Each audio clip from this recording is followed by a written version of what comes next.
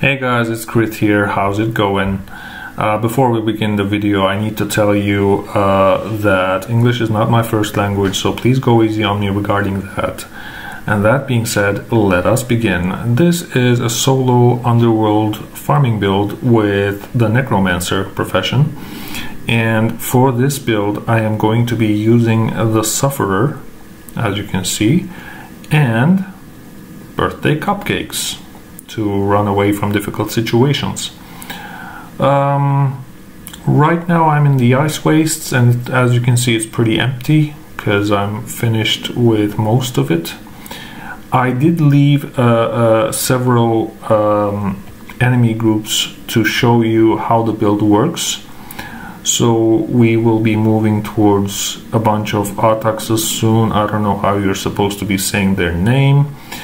Um, unfortunately, there are no skeletons left um, in the parts that I have completed, but you're supposed to be killing them with the, the assassin skill. um, yeah, as you can see, I'm moving backwards in, towards the first chamber. And here is the first combat encounter.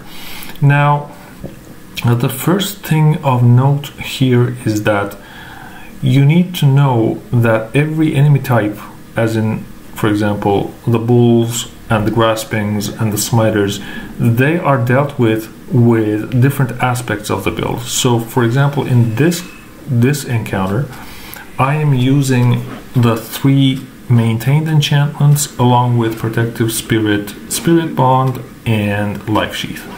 I don't use sneak attack, I don't use the assassin support skill because if I do blind uh, the Aatxes, then I won't be gaining energy. So I need the energy that I gain from their hits. Not to mention the fact that they do use the skill Repost or riposte, I don't know how you're supposed to say that um, so as you can see, Protective Spirit, Spirit Bond, and Life Sheath are the things that keep me alive. You don't have to worry about the damage output, by the way, because you're dealing all the damage you need through Retribution and your Scythe.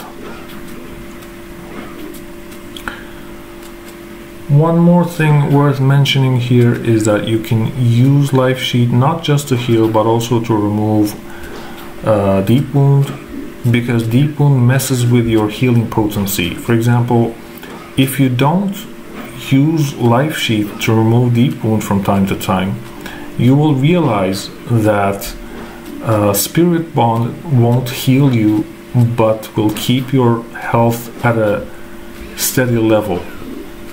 So if you want to heal up, then you need to use uh, life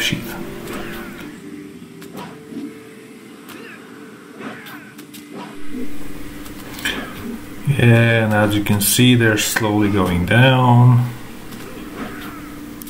So virtually automatic damage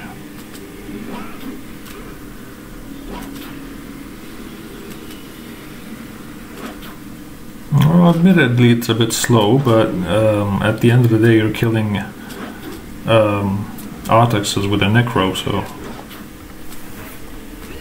I guess it's a thing If I remember correctly, at the end of this battle, there's a there's an ectoplasm drop. Let's see how it goes.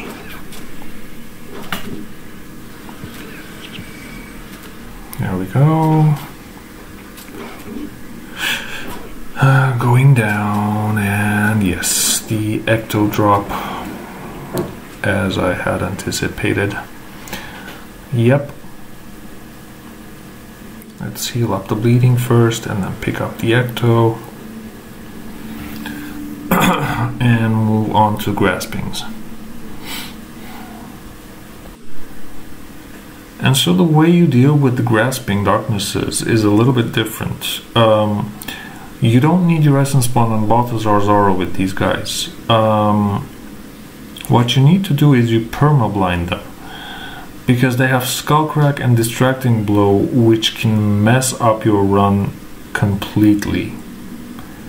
They deal very little damage Um, but if they do land a Skullcrack, a lucky Skullcrack, then you're pretty much done. So here, as you can see, I hit with the sneak attack after their initial uh, random interrupts.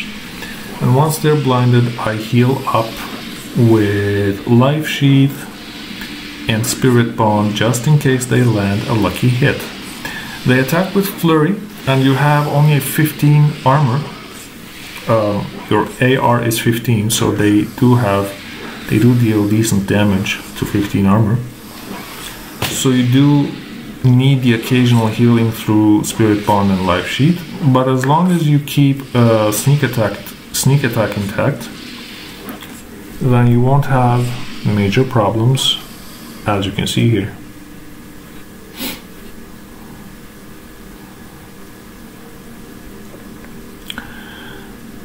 And what I'm gonna do next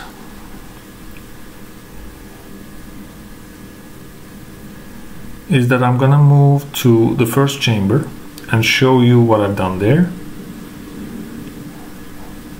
Let's wait for the bulls to pass first. Um, as I said before, you can you can kill uh, skeletons and nightmares with the Ebon Vanguard uh, assassin support. The thing is that uh, nightmares die immediately the, the moment you throw an assassin at them, but skeletons need to be dealt with uh, from behind a wall. As long as you aggro them from behind the wall, you can spam um, the assassin.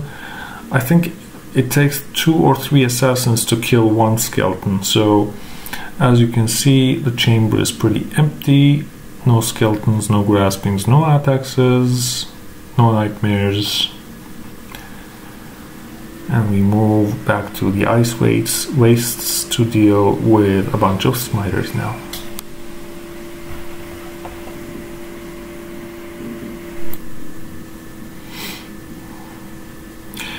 So guys, if you if you think that you like the video and are interested, please do like and subscribe as it supports the channel and it helps me make more videos.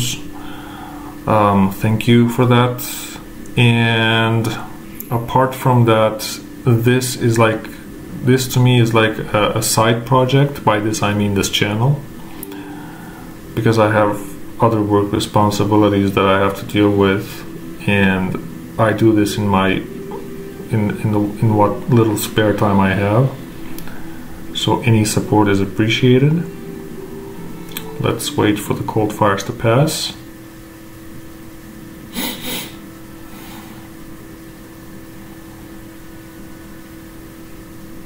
There should be a nightmare pop here.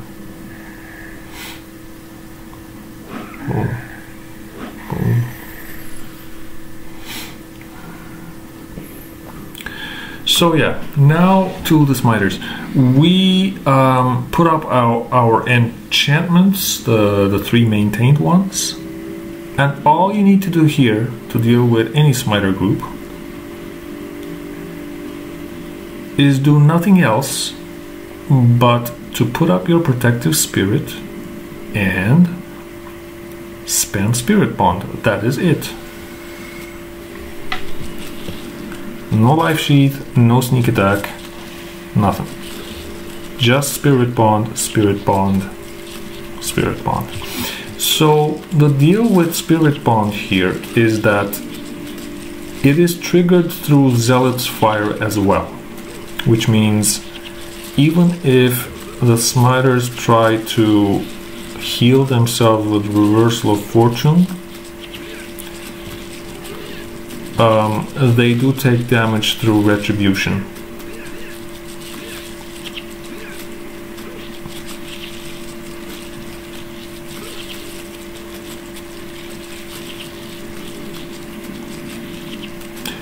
There's nothing to do here except watch them slowly go down. I think, I believe, if I remember correctly, you can tank up to around six maybe smiters at a time.